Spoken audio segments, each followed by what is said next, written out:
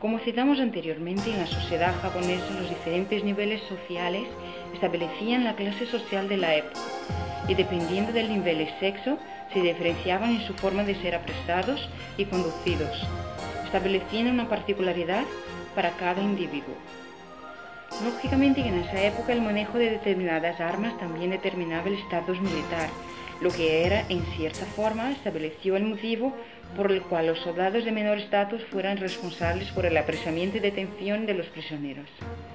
A pesar de tener un bajo estatus dentro del militarismo de la época, sus formas de atar a los prisioneros, siguiendo detallados códigos, eran muy importantes y podían constituir un camino para su progreso dentro del estamento militar, especialmente si el prisionero en cuestión fuera de un nivel superior.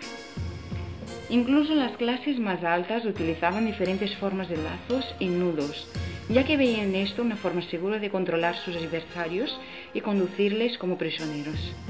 De acuerdo con algunos textos, diversos samuráis expertos en el manejo de la cuerda desarrollaron técnicas utilizando el sageo, cuerda de la saya, la vaina de la katana, siendo después conocida como sageo jutsu. Según algunos maestros, existían algunas reglas empleadas en el Hojojutsu. Primero, no permitir que el prisionero se deslice de sus límites. Segundo, no causar daño físico ni mental. Tercer, no permitir que los demás vean las técnicas. Y cuarto, que los resultados sean agradables a la vista. Los Torimono fueron otros oficiales encargados de realizar las tareas de apresamiento y transporte de prisioneros. Estos grupos estaban formados por un mínimo de cuatro oficiales, en el momento de las operaciones, uno de ellos realizaba las técnicas y los demás rodeaban al prisionero tomando el control pasivo de la situación. De esta forma las técnicas se podían ocultar de la mirada de los criminales y de la gente común. La velocidad de los oficiales para realizar el apresamiento de las técnicas era fundamental para el momento de la acción. Por tal motivo entrenaban horas tras horas para alcanzar una técnica rápida y efectiva. Las cuerdas utilizadas para el entrenamiento no eran de seda, mientras que las del apresamiento eran de otro material específico distinto para cada río. Por más que las formas empleadas tuvieran innumerables vueltas, una parte se dejaba para la conducción y transporte. Por otro lado, sabían también que era eso lo que mantenía al prisionero controlado.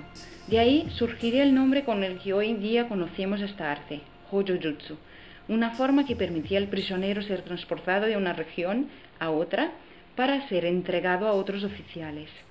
Cada clan y cada región tenían formas determinadas de ese arte. Existían distintos tipos y formas de apresar, atar o estrangular a un adversario, así como diferentes formas de combinar cuerdas con armas, lo que se denominó Nawajutsu. De manera general, se pueden clasificar estas artes en cuerdas en Torinawa, aproximadamente 3 metros, Hayanawa, cuerda rápida empleada en dos situaciones, cuando la técnica utilizada proporciona una velocidad superior o cuando la cuerda utilizada es poco larga, utilizada solamente para apresamientos rápidos. Yakuguchi, cuerda en forma de lazo. Torihimo, cuerda en forma de ocho. Sageo, cuerda o cordón de la vaina de la katana. Kaginawa, cuerda con un gancho en la extremidad. Claro está que al igual que las demás artes que evolucionaran, cada escuela poseía tamaños, colores y formas diferentes de conducir y amordazar a cada prisionero.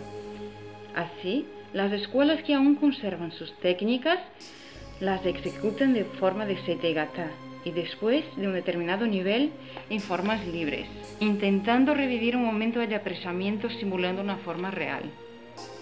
A pesar de las muchas formas de utilización de la cuerda, hay que resaltar que es de vital importancia saber diferenciar bien sus calidades, al igual que la diferencia existente entre Hojojutsu y Shibari. En el siglo XV, Japón ya estaba inmerso en constantes conflictos y guerras frente a una era de dictadura e imposición militar. Antes incluso de ese periodo ya existían distintas formas de retener al enemigo con cuerdas y aparatos utilizados como herramientas para el apresamiento.